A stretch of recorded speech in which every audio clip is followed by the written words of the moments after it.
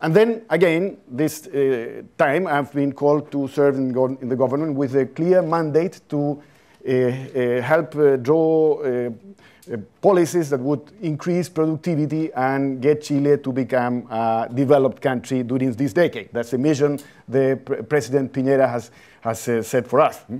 So uh, uh, this is very challenging. You may, being, we are different generations, of course, and we, we, some of you may think some, as, as a bit uh, distant this idea of, of, or this love for public policies. You are more private uh, oriented people.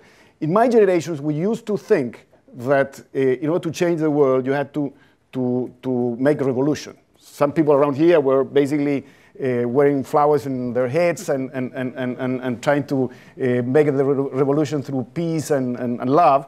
Others around the world were doing less uh, peaceful things you know, to, to, to, to change the world. Uh, and all those uh, experiments failed, actually.